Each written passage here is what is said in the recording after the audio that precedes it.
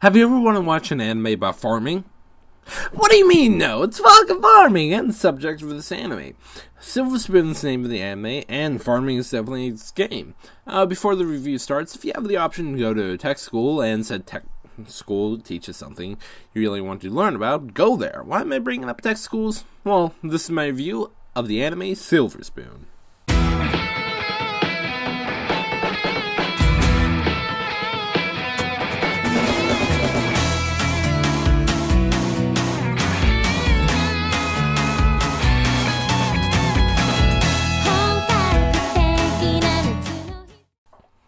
Our story is about a kid named Hachiken attending a special farming school called Hokkaido Ozeo Agricultural School. Therefore, I brought up the whole tech school thing. Because, well, Ozeo is kind of a tech school. You follow his life as, well, shit happens, and that shit is just about him and his school life.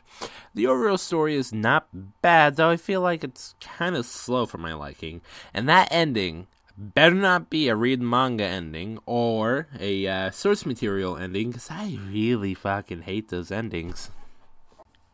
Now, this is going to be kind of short because though I may love these characters, they're kind of basic in my opinion.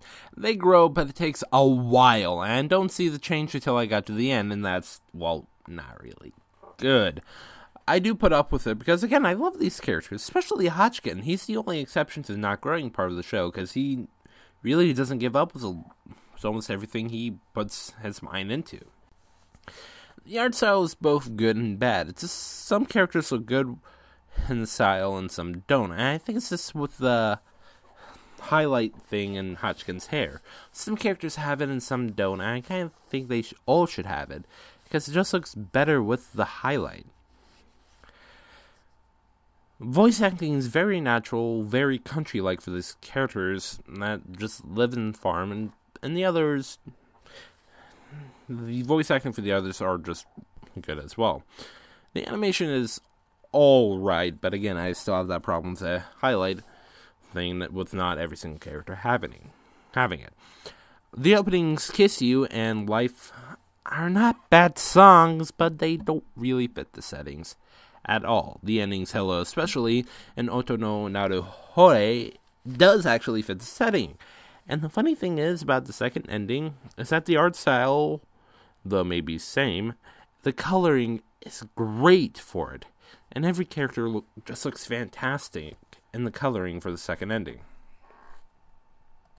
So now, taking account of story, characters, animation, sound, Silver Spoon gets a 7 out of 10. The story really is a little slow for my liking. I do love these characters. The art style is alright, though only Hachiken really looks good, and the other characters have the hi- highlight thing in their hair. The openings are great, but they really don't fit the show at all. But the endings definitely do. At this point in time, Silver Spoon is available for legal streaming on Netflix and Crunchyroll. For ultimate recommendations, I give the Harvest Moon series, primarily available on the PlayStation consoles. My and more specifically, my personal favorite, Innocent Life, a futuristic Harvest Moon, available on the Sony PlayStation 2, Sony PlayStation Portable, and Sony PlayStation 3.